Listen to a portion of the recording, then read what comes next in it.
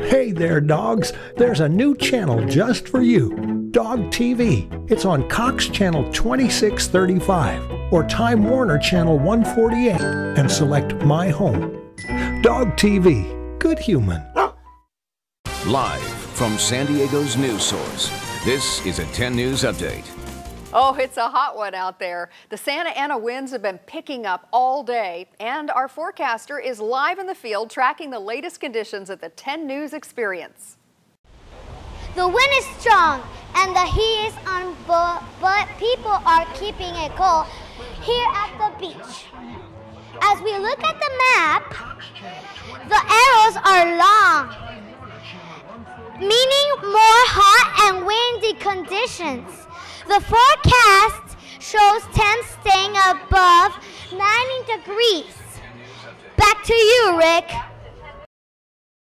Thanks. And hey, great job out there. Remember, you can check weather conditions in your own neighborhood by going to 10news.com and clicking on the Pinpoint Interactive button. We'll be right back.